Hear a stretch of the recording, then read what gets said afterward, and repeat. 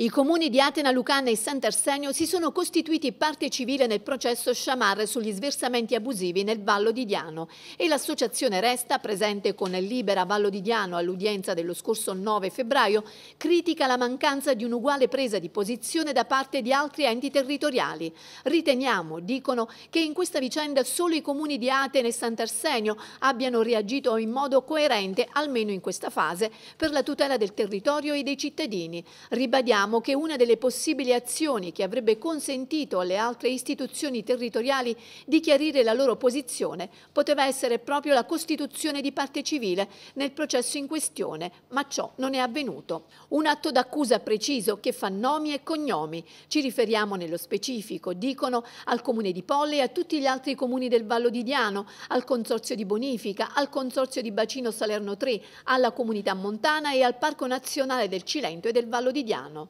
Shamar ebbe una vasta eco perché mostrò attraverso il sequestro di 18.000 litri di rifiuti chimici speciali le foto attestanti la diversa colorazione dei terreni in cui vi erano stati sversamenti e i nomi degli imputati e i rischi per il territorio al centro di questo presunto traffico di rifiuti illeciti. Di qui le preoccupazioni e gli interrogativi sullo stato di salute del Vallo di Diano e sulle connessioni con l'aumento dei tumori nel comprensorio.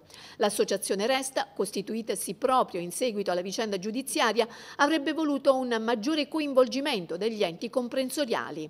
Esprimiamo, conclude l'associazione, pieno sostegno ai comuni di Atena Lucane e Sant'Arsenio e al Circolo di Lega Ambiente Campania. Continuiamo a mobilitarci insieme per promuovere e tutelare la cultura dell'antimafia nel Vallo di Diano.